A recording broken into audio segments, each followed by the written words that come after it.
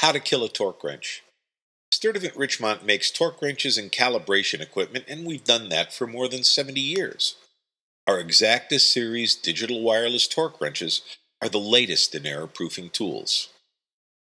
Customers tell us the Exacta series wrenches are intelligent, reliable, durable, and accurate. Some say they're sophisticated.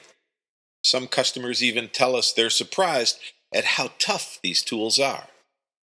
But we don't say that. We tell our customers these tools are fragile. Sure, you can drop five pound weights on them all day and there's no effect. And you can drop a wrench from five feet in the air in any orientation and the wrench still operates flawlessly. Our wrenches are so strong that they can run 50,000 cycles at max torque in both directions and still remain in calibration. You can even run it over with an SUV, and the wrench still works fine. None of those things will kill in a Sturtevant Richmont Exacta Series torque wrench. So if these wrenches are so tough and so durable, how can they be so fragile? It only takes 3 ounces of alkaline batteries to kill an Exacta 2 wrench. Our wrench is engineered to run on nickel metal hydride rechargeable batteries that produce 1.25 volts and have a 2200 milliamp per hour rating. Non-rechargeable alkaline batteries produce 1.5 volts and they operate with a 3000 milliamp per hour rating.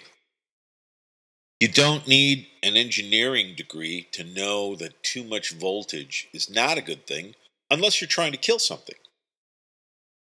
So when you use alkaline batteries in our wrenches, the best you can hope for is that you blow up a diode or maybe a printed circuit board. The worst you can hope for is that the wrench continues to operate but provides inaccurate readings and impacts the quality of your product.